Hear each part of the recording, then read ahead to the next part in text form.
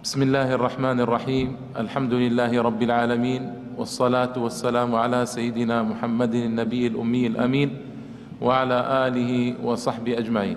أما بعد أيها الإخوة الكرام السلام عليكم ورحمة الله تعالى وبركاته. واليوم لنا لقاء جليل مع إمام جليل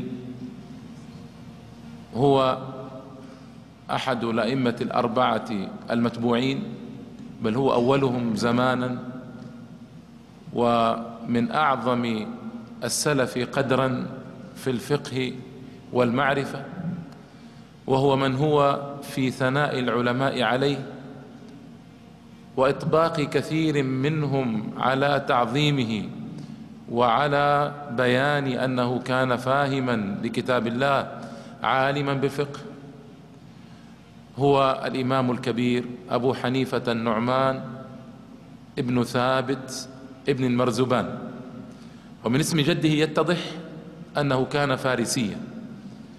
ومن أهل كابل وهي عاصمة أفغانستان اليوم. وكانوا من أهل كابل الأحرار الذين لم يقع عليهم رق. إنما أسلم جده طوعا في زمان الصحابة رضي الله تعالى عنهم جميعا. وانتقل إلى الكوفة جده وجاء بثابت وكان ثابت هذا خزازا يبيع الخز وهي الثياب وعنه أخذ أبو حنيفة هذه الصناعة. فأبو حنيفة رحمه الله النعمان بن ثابت بن المرزبان كان خزازا يبيع الخز وهذا كان ديدن السلف رحمهم الله تعالى ورضي عنهم. فلم يكن أحد منهم يقبل أن يعيش عالة على غيره ولا أن يستلم راتبا من غيره إنما كانوا يجدون ويجتهدون ويعملون ما في وسعهم لتحصيل معاشهم. فهذا قفال وآخر زجاج وثالث نجار ورابع حداد وخامس بزاز وهكذا فما كانوا يعتمدون في معيشتهم على غيرهم.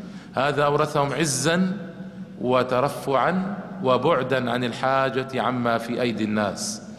وكان هذا ديدن علماء المسلمين في السلف الأول وفي العصر القريب من عصر النبوة. لكن صارت بعد ذلك للعلماء وظائف ويتقاضون عليها مرتبات وصاروا يتفرغون لطلب العلم وليس في أيديهم صناعة.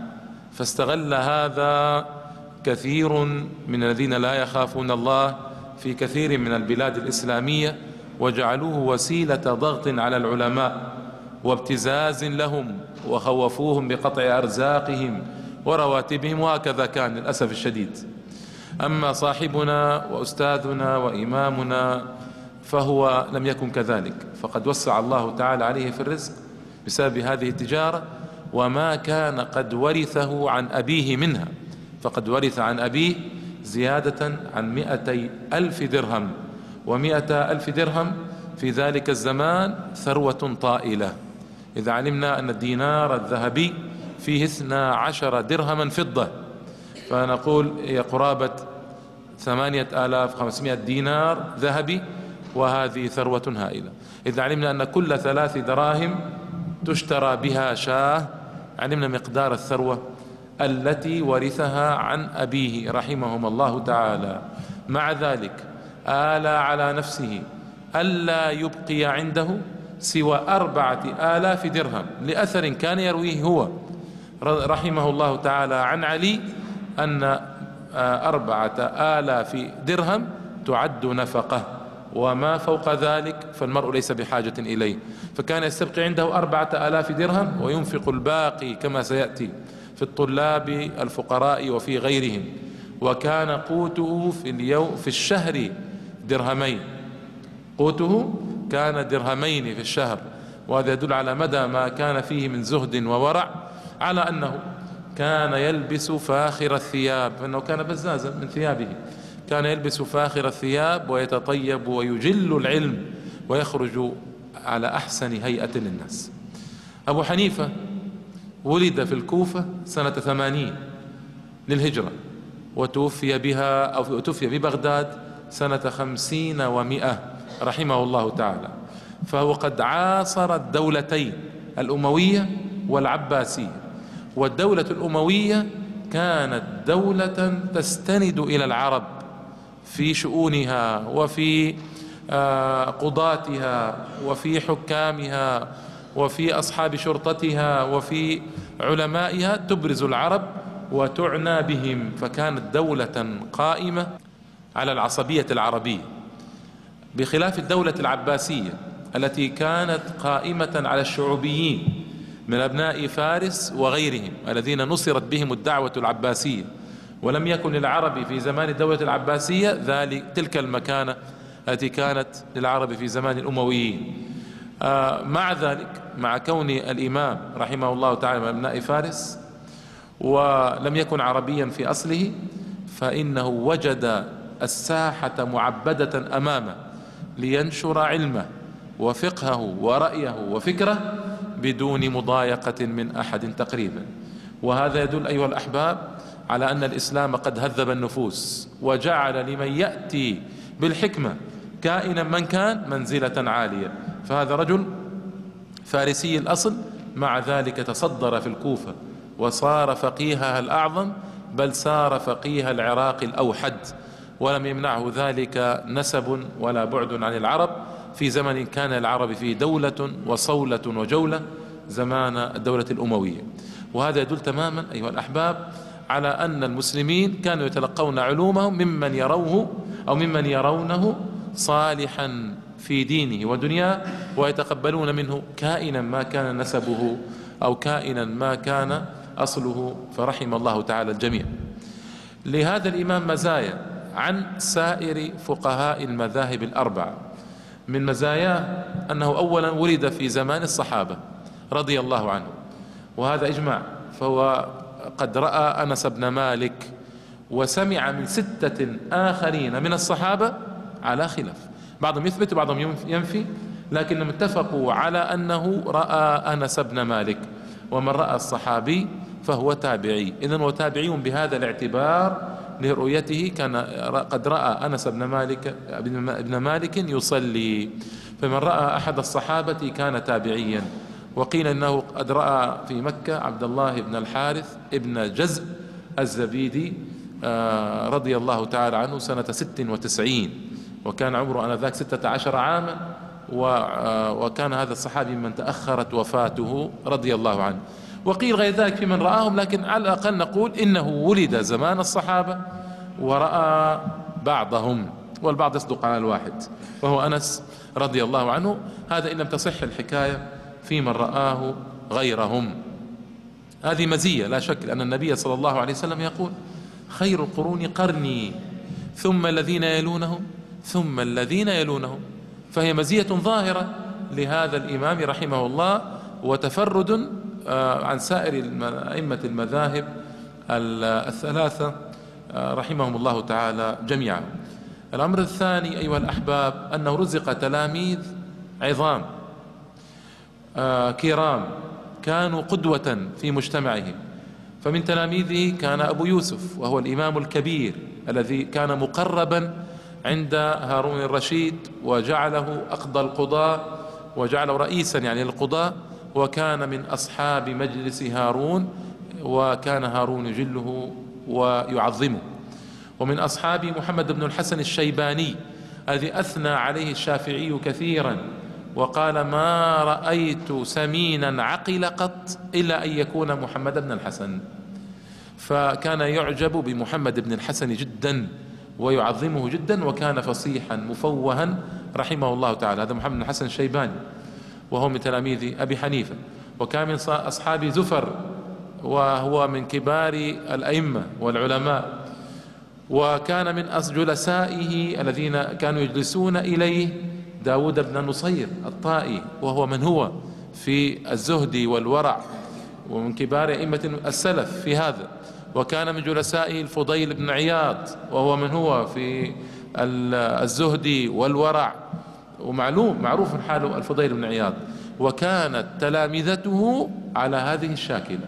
فقد رزق تلامذة عظاما كراما أئمة رحمهم الله تعالى جميعا. فهذا مما امتاز به في الحقيقة. صحيح أن للشافعي تلاميذا كبارا مثل المزني مثل بويطي مثل آه، آه، الربيع لكنهم لم يكونوا على مستوى تلامذة الإمام أبي حنيفة. وكان الإمام أحمد تلاميذ لكنهم لم يكونوا على مستوى تلاميذ أبي حنيفة وكذلك كان لمالك تلاميذ لكنهم لم يكونوا على مستوى تلاميذ أبي حنيفة.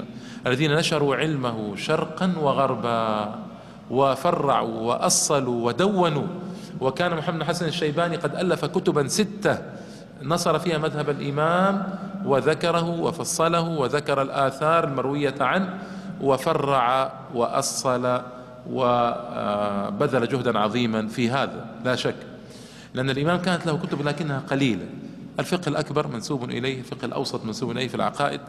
لكن يبقى آه، له كتاب رسالة اسمها العالم والمتعلم أيضا منسوبة إليه. رسائل قليلة لكن الذي فرع وأصل وضبط مسائل الإمام كان هو تلامذته وعلى رأس محمد بن حسن الشيباني الذي كان يناظر على مذهبه. وهذه مسألة مهمة. ومما امتاز به رحمه الله تعالى ورفع درجته في عليين وألحقنا به على أحسن حال أنه أول من ابتدأ تدوين المسائل وضبطها, وضبطها. هذه قضية مهمة. فهو الذي رتب المسائل باب الطهارة باب الصلاة باب الصيام باب الزكاة باب الحج. هو الذي ضبط هذه هذا التقسيم لتلك الأبواب وجعل المسائل ضمنه ونقلت عنه المسائل وكتبت في زمان لم تشتهر فيه الكتابة تلك الشهرة الكبيرة فكانت له تلك المزية الكبيرة. ومن مزاياه أيضا قدرته الفائقة على المناظرة وهذه تحسب له لا عليه. فإن مالكا سئل عنه فقال رأيت رجلا. لو قيل لو لو أراد أن يناظرك على أن هذه السارية من ذهب لفعل سارية من خشب عمود المسجد كان من خشب. قال لو أراد أن يناظرك على أنه من ذهب لقدر ولفعل لقدرته الفائقة.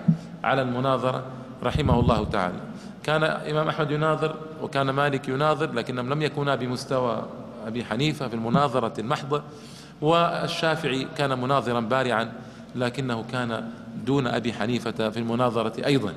فأبو حنيفة ورد عنه أشياء عجيبة في المناظرة كما سيأتي في بعض جوانب الكلام إن شاء الله تعالى. ومما امتاز به ذكاؤه الفائق الذي عانه كثيرا في مضائق ورفع عنه حرجا كبيرا وتخلص بسببه من مواقف ضيقة حرجة في الحقيقة. وسيأتي إن شاء الله نوع أو لذكر هذا أو ذكر لنوع من هذا في ثنايا الحديث. إذا هذا أبو حنيفة رحمه الله تعالى وممتاز به. إذا إذا كان هذا على هذا المستوى وكان يأتي بالفقه على وجه عجيب فلماذا تكلم فيه؟ اسمعوا يا أحبابنا. دعونا نسأل عن أصوله إذن. كيف كانت أصوله التي يحتكم إليها ويأخذ منها؟ أولا هذا الرجل كان إماما كبيرا عالما عالما بكتاب الله وعالما بسنة رسول الله صلى الله عليه وسلم. لم يكن مثل الأئمة الثلاثة الباقين في علمهم للسنة وحفظهم لا شك من باب الإنصاف. لكنه كان ضابطا لحديث بلده وهي الكوفة عارفا به وكان مدونا له.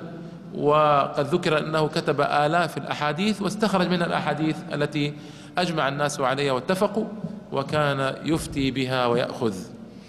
فكان من مذهبه اولا كتاب الله تعالى الأخذ والاستقاء منه كما عادة الأئمة كلهم. كتاب الله تبارك وتعالى اولا ثم سنة رسوله صلى الله تعالى عليه وسلم. طب أي سنة هي؟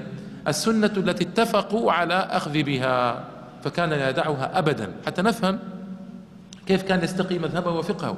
كان لا يدع الحديث المتفق عليه المأخوذ به أبدا بل كان يقدمه.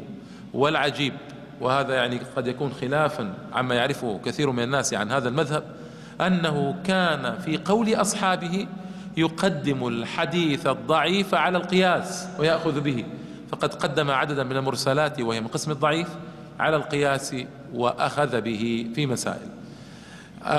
يأتي بعد ذلك أحاديث عن النبي صلى الله عليه وسلم تخالف أمرا في كتاب الله قاعدة في كتاب الله أو قاعدة في أحاديث أخرى مجتمعة كثيرة فهذه هي التي كان ينظر فيها ويرجح وهي التي بسببها عاب عليه ذلك الصنيع عدد من العلماء.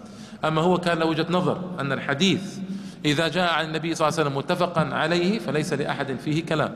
يأخذ به مباشرة ويفتي به. أما إن جاء الحديث من وجه مخالف من وجه آخر بأحاديث أخرى أو آه، بمتفق عليه متواتر من كتاب الله وسنة رسوله صلى الله عليه وسلم فإنه كان يدع هذا لذاك. يدع هذا لذاك. وهذا سبب تركه لمسائل عمل بها من بعده. هذا لابد أن نفهمها فإن لم يكن هنالك نص من كتاب ولا من سنة أخذ بالإجماع وإجماع الصحابة مقدم عنده. بل يكاد لا يرى غيره لأنه يقول ما جاءنا عن النبي صلى الله عليه وسلم فعلى العين والرأس وما جاءنا عن أصحابه نتخير منه نتخير. وما جاءنا عن التابعين فنحن رجال وهم رجال. وهذه كلمة كلمة حق في حق أبي حنيفة رحمه الله تعالى. كان عالما كبيرا وكان تابعيا ولقي ثلاثة وتسعين من رؤوس التابعين وكان له أربعة آلاف شيخ. فمثل هذا يحق له أن يقول يحق له أن يتكلم يقول نحن رجال وهم رجال. ما يأتي اليوم الأحداث والناشئة والذين ابتدأوا العلم والذين قصر علمهم كثيرا إذا تحدثت الواحد منهم يقول يقول فلان كذا يقول فلان كذا يقول نحن رجال وهم رجال. لا. أنت ذكر وهم ذكور صحيح. لكن تكون رجلا مثلهم معاذ الله. فإن الرجولة ليست بالمقياس الذي يفتح الإنسان فيه الكتاب ويقرأ آه، عدة مسائل أو يحفظ القرآن أو يحفظ عددا من الأحاديث أو يحفظ عددا من الكتب ثم يقول نحن رجال وهم رجال.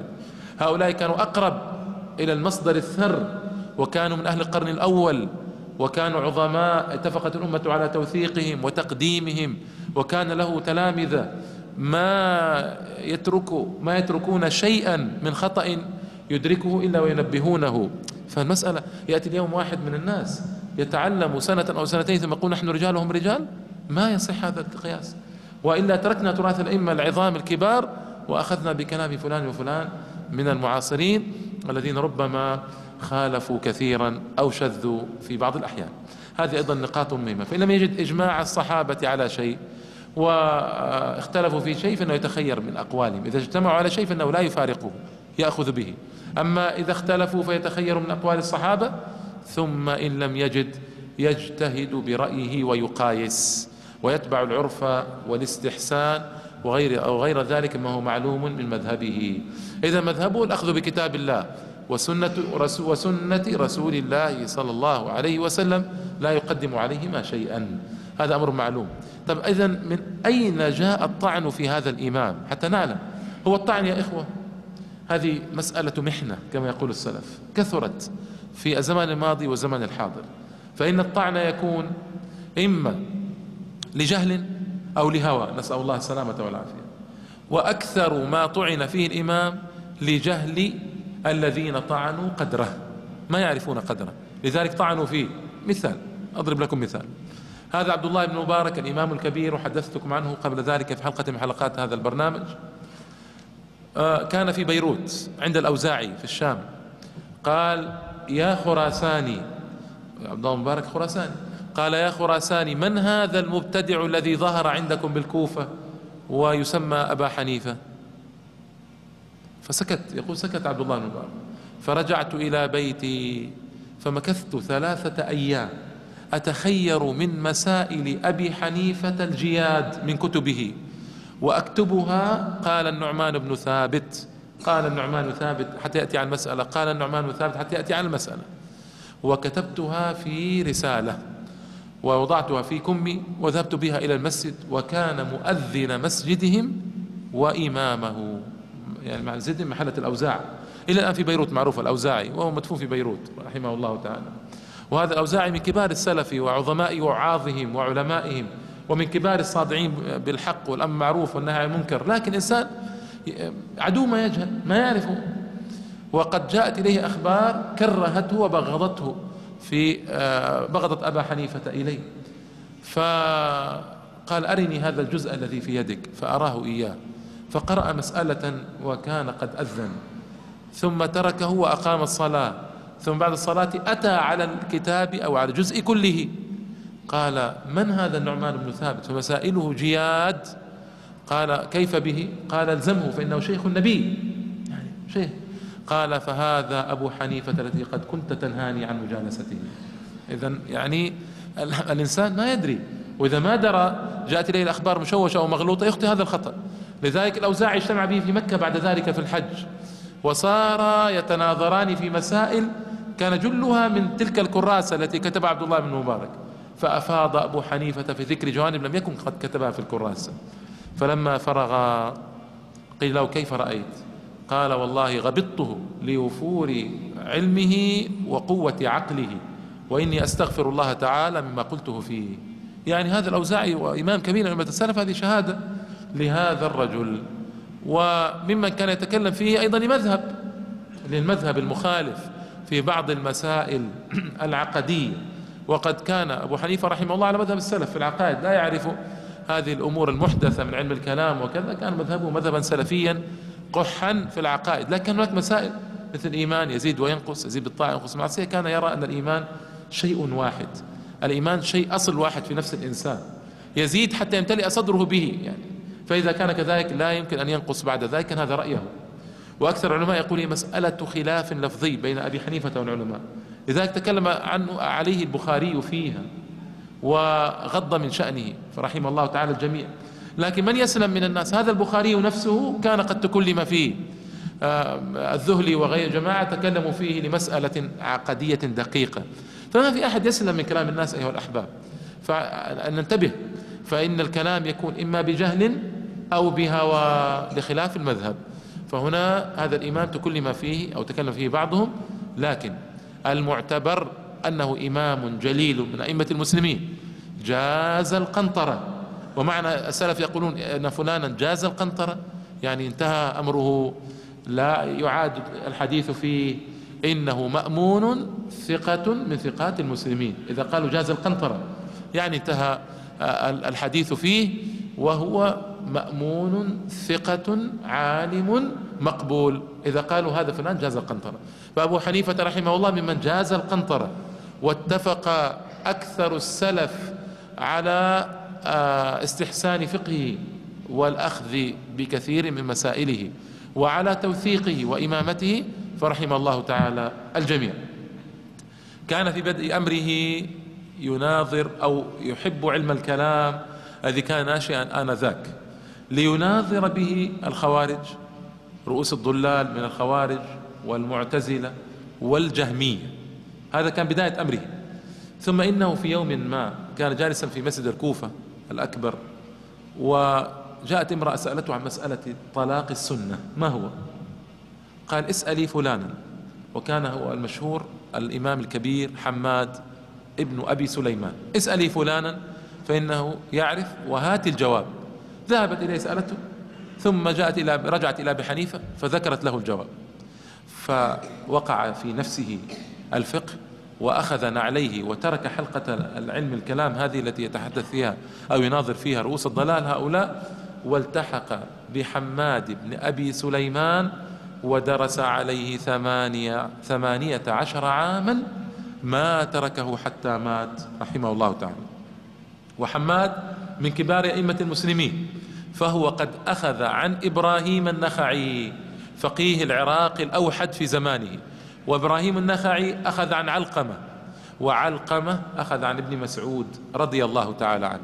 فإذا كان فقهه موثقا. لذلك المنصور لما استدعاه قال عمن أخذت يا, يا أبا حنيفة؟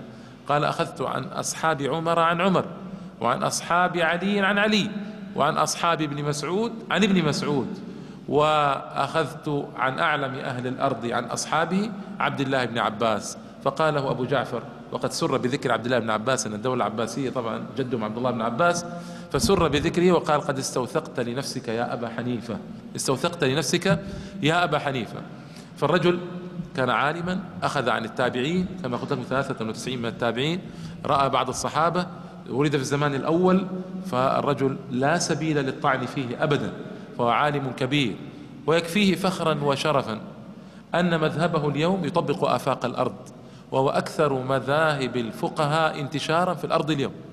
في بلاد العجم وفي بلاد العرب وفي الغرب وفي الشرق في الشمال في البلقان اليوم مطبقون على مذهبه لأن تلك الدول كانت الدولة العثمانية آه، قد فتحت تلك البلاد فنشرت فيها مذهب أبي حنيفة. وكانت الدولة العثمانية قد أخذت بمذهب أبي حنيفة وليست الدولة العثمانية فقط بل إن بني العباس كانوا قد أخذوا بفقه أبي حنيفة. في وزرائهم وفي قضاتهم ما كانوا يعينون في الغالب إلا من كان على مذهب أبي حنيفة. وذلك عن طريق أبي يوسف كما ذكرت لكم تلميذ أبي حنيفة. والدولة السامانية آل سامان وآل الصفار وآل سبكتكين وآل الغزنوي محمود هؤلاء كلهم سلاطين الأرض وكبارهم وحكموا العجم قرونا وكان لهم عمل طويل في تلك البلاد أيضا على مذهب أبي حنيفة. ومسلمو الصين على مذهب أبي حنيفة كثير منهم ومسلمو الهند الهند الكبرى يعني التي هي أفغانستان وباكستان والهند اليوم وبنغلاديش ويطبقون تقريبا على مذهب أبي حنيفة. فيهم بعض الشافعية لكن قليل. ومذهب أبي حنيفة يتبعه أكثر من شطر أهل الأرض من المسلمين اليوم. وكان في القرن الحادي عشر يتبعه ثلث المسلمين. ثلث المسلمين يتبعون مذهب أبي حنيفة رحمه الله تعالى. فمن كان هذا مذهبه وتلك حياته وفقهه لا يمكن ابدا أن يوصف بالضلال أو أن يوصف بأمور تطعن فيه رحمه الله تعالى. بل نقول فيه إنه قد جاز القنطرة وهو ثقة مأمون رحمه الله تعالى ورضي عنه. فلازم شيخه حماد. كيف لازم شيخه حمادا؟ يا إخوة انظروا للأدب. الأدب لذلك الذي يقول اليوم نحن رجال وهم رجال. في الغالب أنا أقول بعضهم يعني جزاهم الله خير مؤدب لكن في الغالب يفتقدون إلى اداب طالب العلم. تقول أخت حماد كان النعمان بن ثابت يكون ببابنا. يندف لنا قطننا ويشتري لنا بقلنا ونحو ذلك. يندف لنا قطننا القطن عندما يأتي القطان ويندفه بالحلاج بالمحلاج هذه. فكان يأتي به أبو حنيفة. وكان يذهب يشتري لهم حاجات من السوق حتى يريح شيخه. وكان ملازما له ولخدمته ثمانية عشر عاما. تصور هذه المدة. وكان حماد معجبا بأبي حنيفة جدا على أنه ممن تأخر في الالتحاق بحلقته وجعله بعد ذلك موجها في حلقته فكان إذا غاب ينوب عنه أبو حنيفة. فلما مات حماد احتاج الناس إلى العلم في الكوفة فقدموا أبا حنيفة رحمه الله تعالى عوضا عن حماد ابن أبي سليمان. وكما قلت لكم كان له أربعة آلاف شيخ ما هو شيخ أو شيخان أو ثلاثة. ما بين مقل عنهم ومكثر مثل حماد. وهذا الأدب ساقه إلى خير كثير وكان في نفسه مؤديبا صبورا على جهل الناس وسفههم رحمه الله تعالى. جاء إليه يوما رجل في مسجد الكوفة وهو في حلقته. فسمعه يقول في سأله عن مسألة للحسن رحمه الله تعالى فقال أخطأ الحسن. فغضب الرجل. وهذه من العصبية الممقوتة العصبية التي لا تقبل. غضب الرجل وقال تقول يا ابن الفاعل أخطأ الحسن؟ يعني تقول هذا الكلام. فهذه ابن الفاعل كلمة صعبة. فهم أصحابه بالبطش به فسكنهم. وقال نعم أقول أخطأ الحسن وأصاب عبد الله بن مسعود رضي الله تعالى عنه. هكذا بكل هدوء. كان هادئا. ما يعلم عنه صبوة ولا يعلم عنه غضب ولا. كان فيه هدوء وكان فيه حلم كبير رحمه الله تعالى. في حلقة من حلقاته في مسجد الكوفة وقف عليه رجل فقال يا مبتدع يا زنديق. تصوروا يعني كيف يخاطب هذا الإمام. يا مبتدع يا زنديق. فقال غفر الله لي ولك. أما والله إن الله لا يعلم مني غير الذي قلت. وما عدلت به أحدا مذ عرفته. يعني الله تبارك وتعالى. وإني لأرجو ثوابه وأخاف عقابه. فلما أتى على ذكر العقاب بكي رحمه الله تعالى. فالرجل طبعا يعني أحرج وقال اجعلني في حل. قال أنت في حل. سبحان الله العظيم. أخلاق كريمة. يقول له يا مبتدع يا زنديق ثم يقول له اجعلني في حل فيقول أنت في حل هذه الأخلاق هي التي نحتاجها اليوم في معاملتنا مع الناس وفي حديثنا واختلاطنا بهم. كيف نصبر على أذاهم؟ والنبي صلى الله عليه وسلم يقول الذي يخالط الناس ويصبر على أذاهم خير من الذي لا يخالطهم ولا يصبر على أذاهم. وقد كان رحمه الله تعالى متعبدا كثير العبادة. يعني روي عنه وأنه عن اصحابه الذين يعاشرونه وعن أم ولده وعن الذين كانوا مقربين إليه أنه صام ثلاثين سنة. رحمه الله تعالى سردا. يعني ما عدا الأيام المحرم صيامها وأنه أيضا رحمه الله تعالى قام أيضا قرابة ثلاثين سنة يصلي الفجر بوضوء العشاء. وهذا من أصعب الأمور رحمه الله تعالى. وسيأتي هذا في ذكر مالك وتفصيل هذا في حياة مالك. لأن مالك روي عنه مثل هذا من العباده وكان يختم القرآن كل ثلاثة أيام مرة اتباعا للسنة رحمه الله تعالى. وهذه أيضا عبادة يخضع لها بمثل هذا الإمام المشغول كان مشغولا بأصحابه وكثرتهم وبالمسائل فقد كان يصلي الفجر ويتعرض للناس مسجد الكوفة في حلقة إلى أن يتعالى النهار ويأتي الظهر. ثم يصلي ثم يعود إلى حلقة ثم يأتي العصر ثم يصلي ثم يعود إلى حلقة. تقول أم ولده ما رأيته قط نائما في الصيف إلا ما بين الظهر والعصر. هذه نومه في الصيف ما بين الظهر والعصر. أما الشتاء ففي أول الليل ومع ذلك فهو في عبادة ودرس ومناظرات ونقاش رحمه الله تعالى ورضي عنه. هذه العبادة على مستوى رائع وجليل وعظيم من هذا الإمام. لذلك ما كان علمهم فقط نابعا عن القراءة ولا عن الدراسة عن مشايخ لكنه كان عن عبادة وزهد وورع. يقول ابن المبارك وكفى به يقول دخلت الكوفة سألت عن أفقه أهلها قيل لي أبو حنيفة عن أزهد أهلها فقيل لي أبو حنيفة. ثم سألت عن أورع أهلها فقيل لي أبو حنيفة. إذا العلم هكذا يأتي عن طريق الزهد والورع. والعبادة والانكسار بين يدي الله والبكاء والخشية.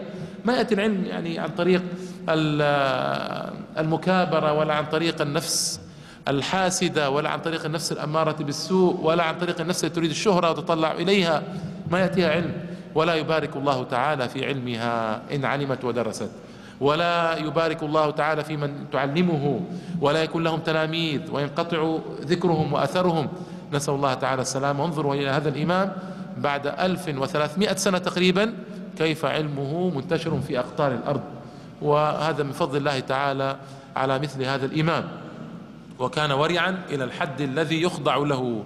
أرسل ثوبا مرة في قافلة ثياب له خز كان خزازا. فأوصى صاحب القافلة أن يبين أن في هذا الثوب عيبا وأن يبين لبائعه آه، لمشتريه هذا العيب. فلما رجع قال أبينت وقال كان قد أتى بثلاثين ألف درهم. قال لا والله قد نسيت. قال فتصدق بكل تلك الدراهم ورعا منه رحمه الله تعالى. انظروا انظروا إلى البعد عن الشبهات إلى التورع كيف يورث العلم الحقيقي النافع. أما ذكاؤه فهو شيء عجيب. الله تعالى آتى هذا الرجل ذكاء عجيبا وآتاه فراسة في الرجال. وعلما بأحوالهم فكان يقدر على الجواب الذي هو جواب نادر لا يؤتاه كل أحد في كل وقت. وقف عليه خراساني وهو في حلقته فقال له يا إمام إني في أمر أهمني وأزعجني. قال وما هو؟ قال لي ولد كلما زوجته طلق وكلما سريته أعتق. هذه مشكلة. يعني كلما أتيت له بزوجة طلقها وإذا أتيت له بسرية يعتقها ماذا أصنع؟ فقال للوقت يعني على مباشرة قال اشتري جارية أعجبته لنفسك. يعني انظر أي الجواري تعجبه فاشتريها لنفسك أنت ثم زوجه إياها. فإن طلقها ترجع إليك فهي مملوكتك. وإن أعتقها يبطل عتقه لأنه عتق ما لا يملك. اسمعوا كيف يعني مباشرة. هذا جواب مباشر. فيقول ابن شب شبرمة وكان ممن يقع فيه فيقول علمت أن الرجل فقيه حقا واستغفرت الله مما مضى. يعني كما قلت لكم الجهل أو الهوى أو مخالفة المذهب أو الحسد قد يفعل شيئا في النفوس وهذه نفوس بشرية فهذا ابن شبرمة كان يقع فيه فلما سمع هذا الجواب مباشرة في بسرعة علم أن الرجل فقيه واستغفر الله تعالى مما مضى. يدخل عليه الخوارج. الخوارج كانوا كما أسلفت قبل ذلك في بيان مسهب لكن أذكر هذا لمن لم يحضر أو لمن لم يسمع الحلقات الماضية الخوارج كانوا من أكبر الأسباب التي عطلت الفتوحات في زمان الدولة الأموية. ما هي عطلت مباشرة أو عطلت كلية؟ لا لكنها خففت من مد الفتوحات. الخوارج كانوا السبب الأكبر في هذا. فإن الدولة الأموية كانت ترسل إليهم تارة أربعين ألفا وتارة عشرين ألفا. يتصوروا جيشا من أربعين ألفا يخرج إليه شبيب وامرأته الغزالة المشهورة هددة الحجاج وغيرهما أربعمائة في أربعمائة. فيهزمون الجيش في أربعين ألفا من بني أمية وهم أربعمائة الخوارج. فكانوا مصدر إزعاج وقلق دائم للدولة. وكان العراق ميدانهم الذي فيه يجولون لأن الدولة كانت بالشام.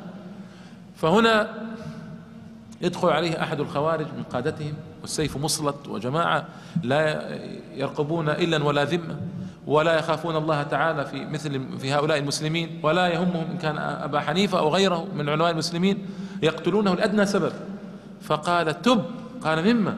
قال من تجويزك التحكيم. قال تقتلني أو تناظرني؟ قال بل أناظرك. قال فإن اختلفنا من يحكم بيننا؟ قال اختر ما شئت قال اختار هذا من أصحابي. قال ترضى بي؟ قال نعم. قال وإن اختلفنا نرجع إليه؟ قال نعم. قال ف فأنت الآن جوزت التحكيم. يعني أنت الآن جوزت التحكيم. أنت تقول هو تب من تجويزك التحكيم الذي كان بين الحكمين في زمن آه علي رضي الله عنه. مشهورة القصة. فيقول له أنت الآن جوزت التحكيم بيني وبينك. فكيف إذا علي رضي الله عنه لا يحكم؟ فهذا ذكاء في الخروج من هذا المأزق. يدخل عليه أحد الخوارج وهو أيضا مع تلامذته وبالسيوف لأنهم ما يبالون يقتلون المسلم ولا يبالون للأسف الشديد. على أنه مرتد أو كافر أو كذا فيقتلونه يستبيحون دمه بسهولة. وإنا لله أن إليه راجعون. حوادث كثيرة في آه، صدر الدولة. المهم فدخلوا عليه في المسجد قال من أنتم؟ هو الخارج يسأل أبو أبا حنيفة والجالسين. من أنتم؟ فأشار أبو حنيفة الأصحاب بالسكوت. قال نحن المستجيرون. اسمعوا. قال نحن المستجيرون. الآية ماذا تقول؟ وإن أحد من المشركين استجارك فأجره حتى يسمع كلام الله ثم أبلغه مأمنة. فهو يقول نحن مستجيرون. ما قال نحن مشركون؟ قال ذكاء. قال نحن مستجيرون. قال لأحد أصحابه الخارجي اقرأ عليهم القرآن. فقرأ عليهم القرآن. قال أبلغه مأمنه. فقام أبو حنيفة. ومن معه إلى بيوتهم تحت حراسة الخوارج. فهذا يعني هذا رجل يعرف كيف يتصرف ويعرف كيف يخرج من المحن التي كان كانت تحيط به رحمه الله تعالى في زمانه. أبو جعفر المنصور كان موقف سيء مع أبي مع أبي حنيفة. كان معجبا به معجب بعلمه وذكائه. فأتى به يوما وقال في زمن الدولة العباسية طبعا وقال له تلي لي قضاء. قال لا أصلح يا أمير المؤمنين. قال كذبت. إنك تصلح. قال قد حكم علي أمير المؤمنين بأني كاذب والكاذب لا يصلح القضاء. فأتعبه بهذا. فأمر بحبسه أمر بحبسه ثم ضرب أصواتا قيل قيل هي آه، واحد وعشرون صوتا وقيل هي عشر ومئة من الأصوات وقيل لم يضرب لكنه حبس وضيق عليه وأخرج إلى داره في إقامة جبرية إلى أن مات رحمه الله تعالى. لكن على كل الأقوال فهي محنة أصابت هذا الإمام بسبب رفضه المطلق لتولي القضاء. ولماذا يرفض؟ هذا السؤال. في رواية بينت هذا. قال يا أمير المؤمنين أنا نفسي أضعف من أن أحكم عليك وعلى وزرائك وأصحابك. فانظر لمن هو أقوى نفسا مني. فإنه يستطيع أن يحكم عليك وعلى وزرائك وقوادك. فقال لا لكني أريدك. فبالغ وحلف وحلف أبو حنيفة ألا يلي. فالربيع الحاجب متعجب يقول له أمير المؤمنين يحلف وأنت تحلف؟ قال أمير المؤمنين أقدر على تكفير يمينه مني. فإني والله لا ألي القضاء أبدا فحبس. في موقف آخر آه، اجتمع الناس عند أبي جعفر. فجاء الطوسي وكان من أعداء أبي حنيفة. فقال اليوم أقتل أبا حنيفة. يعني ورطوا في مشكلة مع أبي جعفر فيقتل. قال يا أبا حنيفة إن أمير المؤمنين يأمرنا بضرب أعناق رجال لا ندري من هم.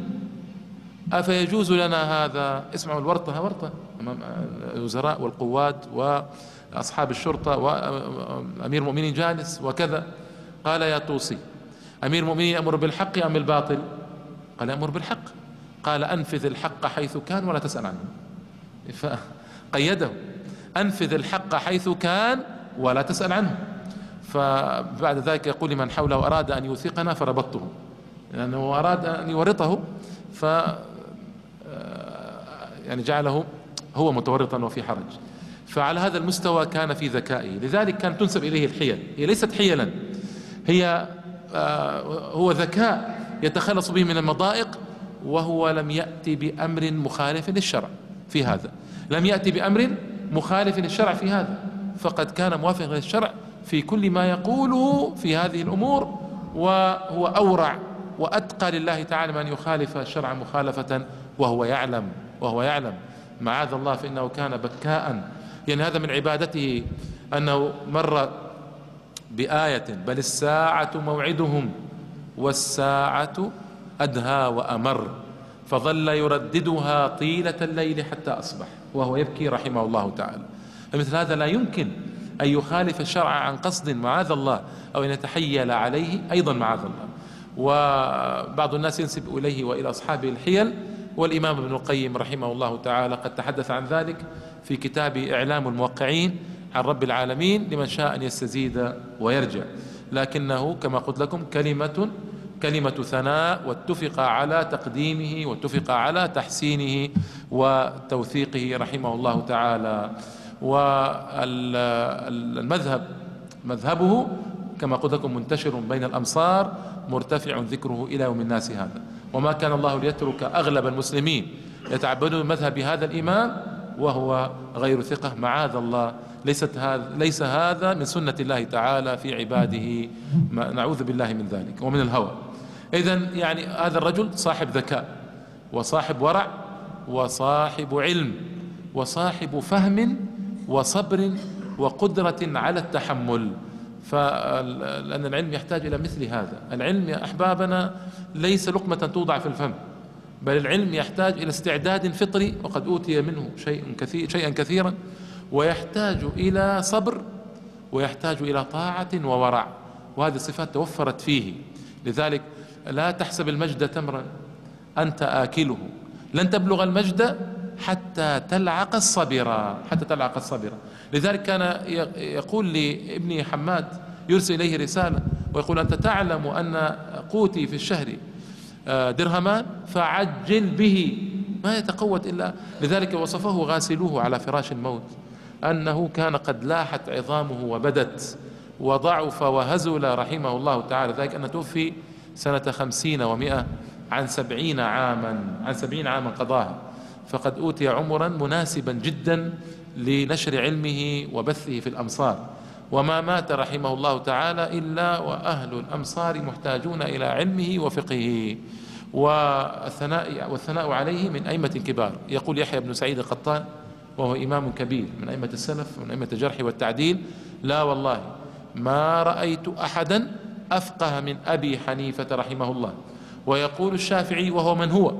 وهو العالم الكبير وقد أوردت لكم سيرته في حلقة من الحلقات السابقة وعالم قريش وهو يعني أكبر من أن يذكر الآن بهذه العجالة لكنه يقول الناس في الفقه عيال على أبي حنيفة. عيال على أبي حنيفة. والطريف أن الأعمش وهو شيخه في الحديث يقول له يا أبا حنيفة لو كان العلم بكثرة الحديث وكثرة اللقي لكنت أعلم منك.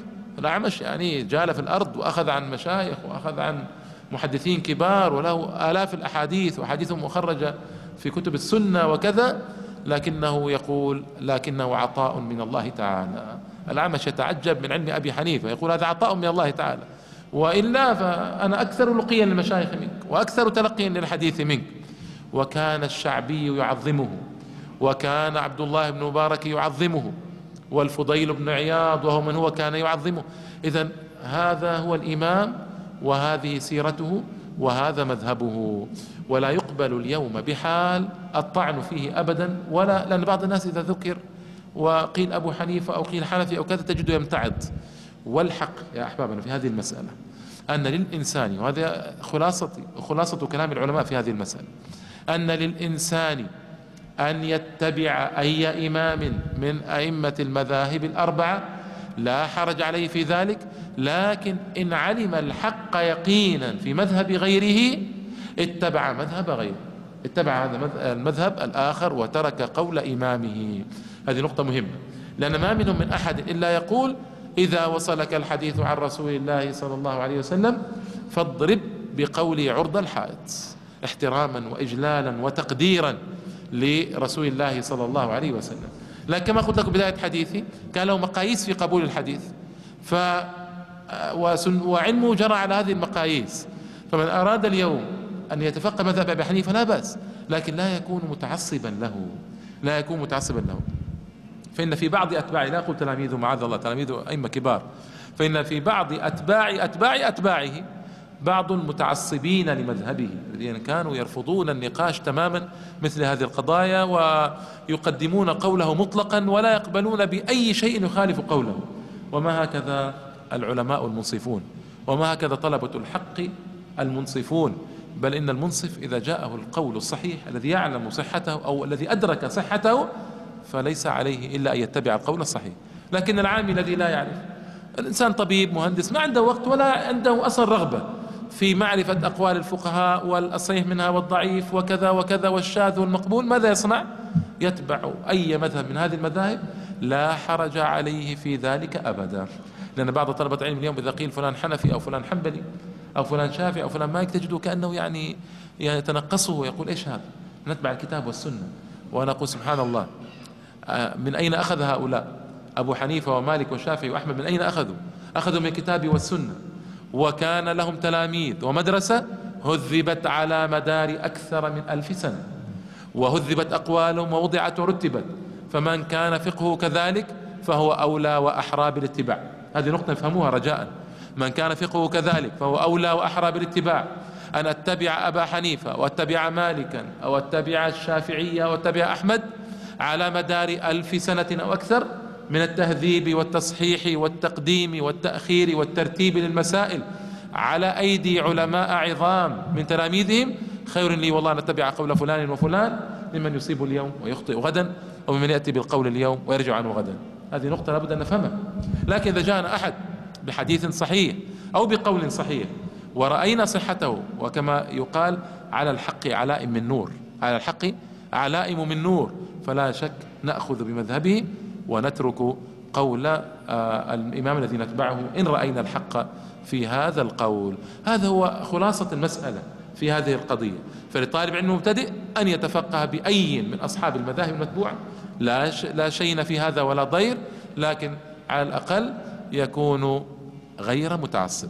يكون غير متعصب لأن نحن نتعصب لكتاب الله وسنة رسول الله صلى الله عليه وسلم. ومع ذلك فقول مالك الذهبي الذي انتشر في الأمصار والأعصار ما منا من أحد إلا يؤخذ من قوله ويترك. ما عدا صاحب هذا القبر صلى الله عليه وسلم وأشار إلى قبره الشريف صلى الله عليه وسلم. فهذه قاعدة ذهبية أيها الأحباب نأخذ بها دوما وأبدا وعلينا فهم هذا ومعرفته. إذا ففي ختام حديثنا عن هذا الإمام الكبير نقول إنه كان من أئمة السلف المتبوعين من من أهل القرن الأول الذين ذكرهم النبي صلى الله عليه وسلم بخير رأى بعض الصحابة أخذ عن ثلاثة وتسعين من التابعين أخذ عن أربعة آلاف شيخ وكانت تلامذته مشايخ كبارا عظاما وكان فيهم من الزهاد والوعاظ والكبراء الشيء الكثير لذلك يقول عنهم ما منكم من أحد إلا ويصلح القضاء. وفيكم عشرة يصلحون لتأديب القضاء. وهكذا كان. فقد كان أبو يوسف أقضى القضاء في زمان الرشيد في في الدولة العباسية القوية. وكان يعنى مع ذلك يعني هو وجه العجب في حياته أنه كان يعنى بتلامذته أشد العناية. أبو يوسف هذا كان أقضى القضاء كان فقيرا وكان أبو حنيفة يعطيه كل شهر أو كل مدة مئة درهم فينفقها على والده وعلى أهله حتى يتفرغ طلب العلم ثم يعطيه مئة درهم أخرى وهكذا مدة عشر سنوات حتى بز أبو يوسف وارتفع. هكذا هذا الإمام يعنى بأصحابه يلقنهم يعلمهم ينفق عليهم حتى يصيروا أئمة كبارا. فمن كان حاله كذلك فحق لمذهبه أن ينتشر في الأرض وأن يؤخذ به. فرحم الله تعالى الإمام وغفر له وبلغه أعلى الدرجات في الجنان وألحقنا به على أحسن حال. إنه ولي ذلك والقادر عليه وصل اللهم وسلم وبارك على سيدنا محمد وآله وصحبه أجمعين والحمد لله رب العالمين.